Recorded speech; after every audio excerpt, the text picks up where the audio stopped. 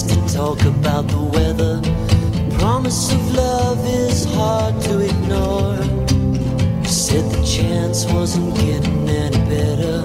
Labor of love is ours to endure.